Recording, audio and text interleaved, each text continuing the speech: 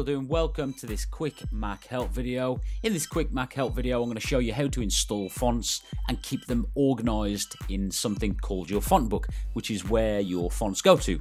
Um, I'll show you a quick few few quick keyboard shortcuts as well along the way, hopefully. Um, so this video hopefully will be of some use to you. So um, as you can see, by this website here. I'm using a, a website called 1001freefonts.com. There's other lots of other um, free font websites that you can go to, and I'll put a few in the description to this video below. So um, I already know that I'm sort of looking for a modern a modern font and this is what I'm on now I'm on page 4 of a modern font and I've just searched this font and I want this font here called Cerebro um, because I think it looks quite nice and I'm doing a um, a project very soon in Pixelmator that I think this um, this font will sit very nicely with. So I'm just going to click the, the download here. You can actually don donate to the designer because um, obviously they do it for free. So you can donate to the designer on each of the tabs. And this one is made by um, Cerebro, is made by Muranaka Knockout Media um, and design. And just to give him his props, and his website is um, michaelmuranaka.com, um, and that's his website. And you can have a look at that. He does lots of things, and I'll put the link to the um, to his website in the description below. Also, so once you're happy with that, um, I'm just going to select download, and this font will go direct to my downloads.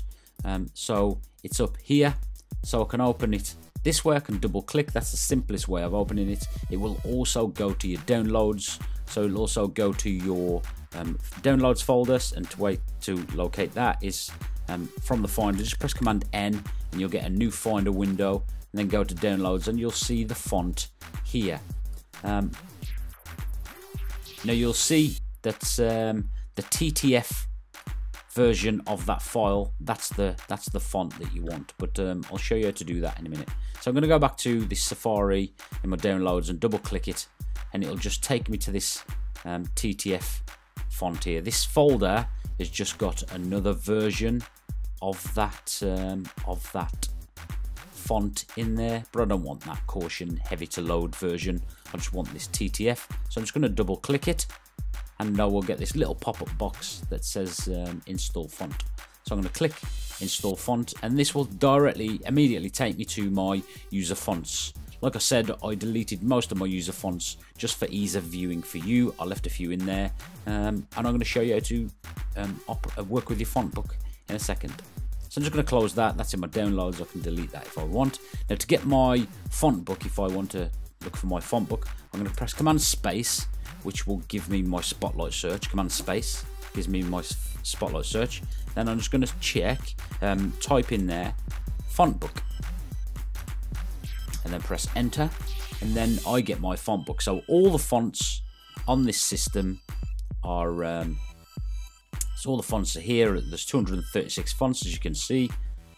Um, and then my user fonts are right here and I have five of them and it just tells you the variant of the font that you've got in the little drop down.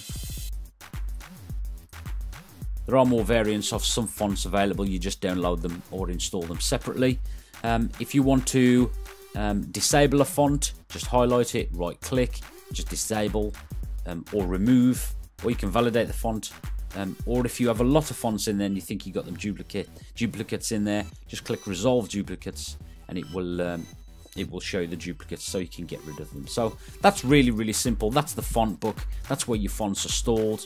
Um, stored. If you now go open up Word, Pages, whatever, um, Pixelmator, anything with a, um, a font drop down in, that will um, those fonts will now be there. If you've got an application open, you install a font, you generally have to restart that application in order to see that font in the um, in the inspector or the drop down of any um, of any given application. So, like I said, I hope this has helped you out.